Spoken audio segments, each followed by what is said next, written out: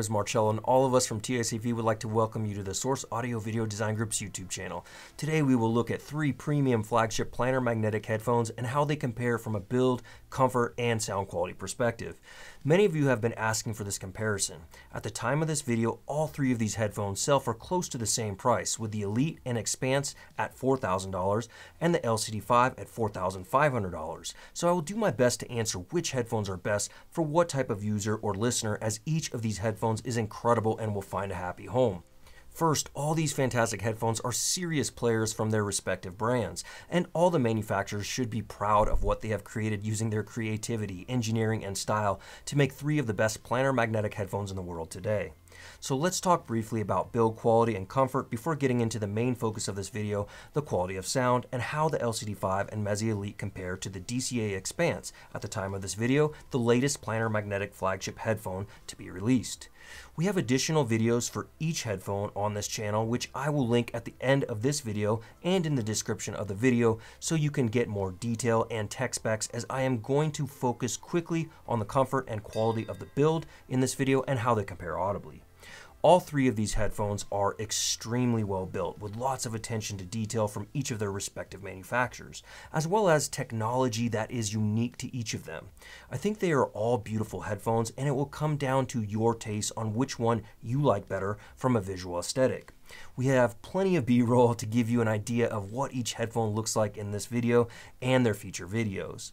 Regarding comfort, there are two clear winners in this category. The DCA Expanse and the Meze Elite are two of the most comfortable headphones I have ever worn.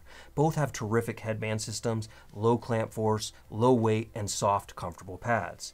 The LCD5 does weigh less than the Meze Elite and has an excellent headband system and pads. However, you have more clamping force with them, which can become a bit bothersome for longer listening sessions, especially if you have a larger head. However, the flip side of this is that they also feel the most stable on my head when listening and turning or moving, which some might appreciate in a video or audio production working environment. Weight wise, all three headphones are considered excellent in my book, with the DCA Expanse coming in first weighing only 415 grams, the Audeze LCD5 weighing 420 grams, and the Meze Elite weighing about 430 grams. This is a significant victory for all the headphones, as it was only a few short years ago that we saw flagship headphones weighing around 700 grams. According to their websites, all three headphones post incredible numbers, with the DCA Expanse delivering driver matching to 0.25 dB weighted 20 to 10,000 Hz and THD less than 0.03% 20 to 20 kHz. The LCD5, according to Audeze, has a frequency response of 5 Hz to 50 kHz with less than 0.1% THD, and the Meze Elite has a frequency response of 3 to 112,000 Hz with a THD of less than 0.05. Each manufacturer includes a decent cable and case for their headphones, with the LCD5 also including a single-ended adapter with their XLR cable. The Meze Elite and LCD5 include a larger style aluminum case, and the DCA Expanse includes a smaller, more portable case, as the Expanse, due to their brilliant folding gimbal design, can be packed down very small, making them the most transportable of the three flagship headphones.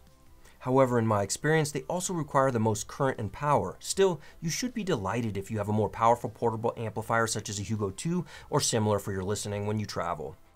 Without going into much more technical detail about each of the different headphones and how each of their technologies differs, I will encourage you to again watch their individual videos where we cover that information in more detail as each manufacturer has incredible tech behind their headphones. So let's get into my sound impressions, the main focus of this video. For all my impressions, I utilized the hybrid pads on the Meze Elite and the stock included cables that came with each of the headphones. Listening to all three of these headphones across several playlists, genres of music, amplifiers, and DACs, including the Chord Hugo TT2, Chord Hugo 2, and Chord Anni. For tube amps, I listened with the ARC i50, the OG iFi Pro iCan, and the Amps Sound Pendant all being fed by either the TT2 as the DAC or the Hugo 2. To give you some music focus impressions comparing the three headphones, I will choose a few tracks from the many I listen to and share my thoughts and impressions from those specific tracks, then give my overall conclusions and wrap up. Listening to Friend of the Devil from the Grateful Dead, comparing the DCA Expanse with the Meze Elite, I first noticed how damn comfortable both headphones are, passing one of the more important tests for a headphone at this price in my opinion. Audibly, the areas that stand out the most to me are a bit more sub-bass from The Expanse, giving the strings and Jerry's vocals a bit more body on this song. The soundstage of The Expanse sounds more cohesive and natural to me. However, I thoroughly enjoy the imaging and soundstage of the Elite as well. Jerry's vocals sound more intimate in their presentation on The Expanse, and the Elite present them a touch further away on their stage. The timbre of The Expanse sounds a little more natural for this track, with the instruments and vocals still having planar magnetic flavor, but less so than the Elite. The Elite sounds like it may present a touch more mid-bass than the Expanse, or it could be that it has a driver dedicated to this job, which helps to separate it more on the song. Both headphones sound terrific and are currently two of my favorite planar magnetic headphones for really kicking back and enjoying music. Next, I listened to the DCA Expanse and the LCD5 on the same track. The LCD5 pushes the strings and the vocals forward with even more energy. After listening to the other two headphones, it reaffirms how mid-forward the sound of the LCD5 is, which some listeners may prefer and others may want a bit less of. Both headphones sound highly resolving, with the LCD5 presenting a more technical sound on the track that is very mid-range emphasized specifically by Jerry's vocals and the fast-moving strings. The Expanse sounds more natural, making it the more effortless of the two headphones to listen to for this song.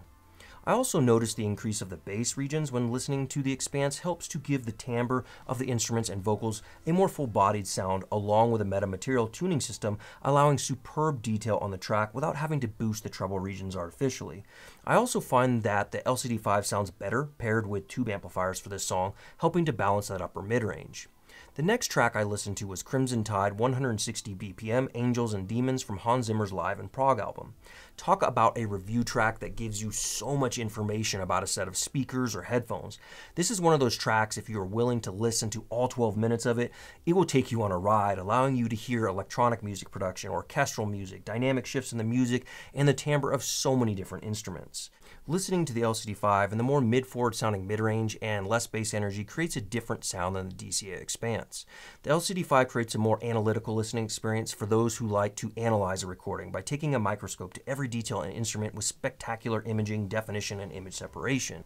The electric guitar sounds very crispy and defined on the LCD5. In contrast, the Expanse presents all the instruments and vocals from the choir on the soundstage superbly, but in a more balanced, less analytical way. Around the 437 mark is when the expanse begins to click for me, showing how much more body they have around the drums as they are being struck, and the choir's vocals start to build along with the drums and cymbals. What I love about the expanse on this track is the way all the instruments and vocals are presented. All the subtle details are there, and the headphones deliver all the dynamic shifts in the music and energy of the instruments being played, but without sounding artificial or overly boosted. The LCD5, in my opinion, sounds great on this track, but needs a slight reduction in the upper mid-range and an increase in the sub and mid-bass for my preferences. Without any EQ adjustments or throwing tubes in the mix, the LCD5 on this track does present a more defined, crisp quality of sound that is something they do so well, which I can appreciate. To make things a bit more interesting, I went ahead and turned on my friend Jeremiah Griffiths of Agartha Audiolab's finite impulse response convolution filter he and his friend Mitch Barnett from Accurate Sound Design for the LCD5 specifically to work with Roon. And now the sound of the LCD5 presents more bass and a slightly toned down upper mid-range, making their sound signature more balanced on this track and less in your face. However, the Expanse tuning and tech still can maintain their more natural timbre detailed presentation, and incredible soundstage due to their design and meta material, allowing for none of the compromises of EQ. So while I enjoy the LCD5 on this track both with and without EQ, the Expanse gets closer to the overall target sound I want for everyday music listening. Keeping the Hans Z party train going, I let Gladiator, The Wheat, The Battle, Elysium, Now We Are Free track play through, listening to the Expanse first. It's remarkable how black the soundstage background is and how well the Expanse can cohesively present all the instruments on the track without making things sound unnatural to my ears. The timbre of the string instruments, including the violin, guitars, electric cello, electric bass, and double bass, are just epic, along with the dynamics of the percussion instruments and the splash of the cymbals. When they drop in around 607 mark, Lisa's vocals sound so ethereal and beautifully presented on The Expanse. As I said in the Expanse first look video, they take you away from analyzing the music, even though you hear every single detail, micro detail, every string pluck, every shift of a finger playing the Expanse presents this all in a more natural way, which is not traditionally what you find with many planar magnetic headphones. When listening to the LCD5 without EQ, the details are more forcefully presented as I listen, emphasizing the string instruments and vocals, pushing them even more forward on the mix, and displaying a lighter, but tighter, more textured bass signature throughout the track. The LCD5 presents a drier and more defined signature. For those of you who are familiar with photo editing software and the clarity slider, I would say this is a pretty good analogy for the LCD5 with the clarity slider being increased, causing a shift in the overall level of detail, contrast, and micro contrast in an image, or in this case music with a clarity emphasis especially in the mid-range and bass regions. I enjoy the LCD5 sound signature with tube amps or in smaller doses without tubes for video editing and analyzing different gear in an audio chain. I also appreciate how different the LCD5 sound signature is from the Expanse, even after EQ, as we don't want all flagship headphones to sound the same, that would be boring. Playing with the convolution filter from Jeremiah and Mitch again allows me to get closer to my target with the LCD5. Your target signature may differ, so this will come down to your personal preferences, the recording, and your audio chain. Finding the right synergy with any pair of headphones is incredibly important, and in no way is this video an end-all be-all for which headphone is the best. Synergy and building the best possible chain around each headphone allow for creating the best experience for you as a listener. However, if you already own a neutral bright forward sounding amp, I recommend looking at the Expanse or the Meze Elite. If you have a warmer solid state or tube amp that could use a bit more forward mid-range definition and clarity, the LCD5 would likely be a superb synergistic match. Okay, let's get back to comparing audio signatures of the Expanse and the Elite, then I will wrap up. I listened next to both tracks from Hans Zimmer again. I'm impressed with both headphones' ability to present the details, dynamic shifts in the music, vocals, and timbre of the instruments with their unique tuning and approaches. Honestly, I enjoy both headphones for listening to music without having to overanalyze the tracks.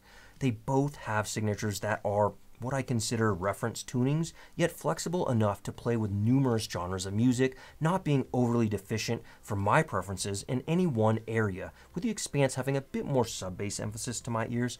However, the bass definition is a bit more articulate and tighter when listening to the Meze Elite across these two tracks.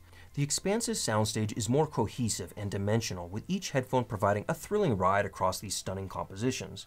As far as punch or slam goes, the Expanse and the Elite are close, depending on the track I am listening to.